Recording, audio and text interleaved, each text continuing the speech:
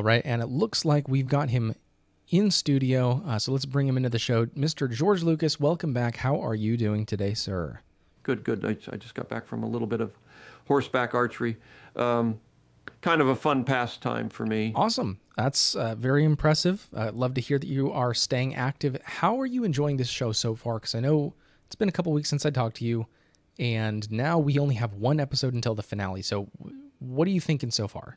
Oh, I absolutely love it so far. And uh, all the characters have been absolutely incredible so far. I'm so happy they are honoring my legacy. Really proud of them. Awesome. Uh, and and who's been your favorite character to this point? Well, let's see. It's got to be those little turtle people with waistcoats that come. They're just adorable. Really reminds me of those old Yoda Muppets we used for the older movies. Really cool. Cool. Um, what do you expect from this finale episode and does the hype live up to your expectations? Like, are you really that excited for this finale? Well, no one's ever really gone. And so Mace Windu is going to swoop down and just blast Thrawn away.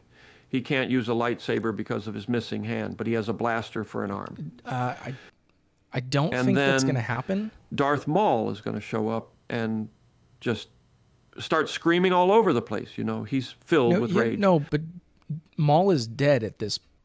Gonna save the day. It'll be magnificent, just the way I imagined it all those years ago.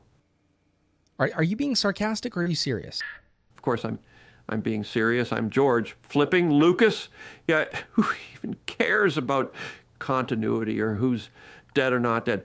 All of it is pointless. Stop watching. Okay, no. Uh, okay, I, I finale is going right, to be thanks for joining the show as always, letdown. but uh, you got to get out of here. All right. Sorry, everyone. This has been AI George. You know, but there's always this little part in you is saying, "What am I doing?" I want you to get out of this office right now. Out!